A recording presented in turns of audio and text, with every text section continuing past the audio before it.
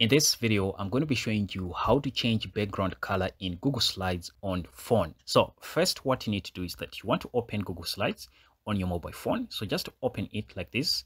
And once you open it, this is going to take you on this page right here where you can see all your presentations that you've worked on.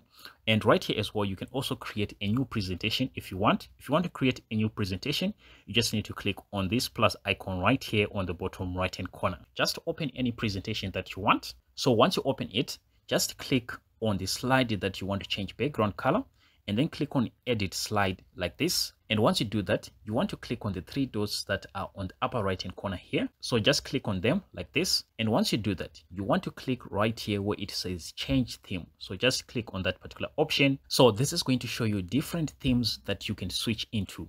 So what you just need to do right here just scroll down and then basically look for the theme that you're interested on. So let's say you want this orange background color here or theme you just need to select it like this. As you can see right here that's basically going to change the background color for my slide right here.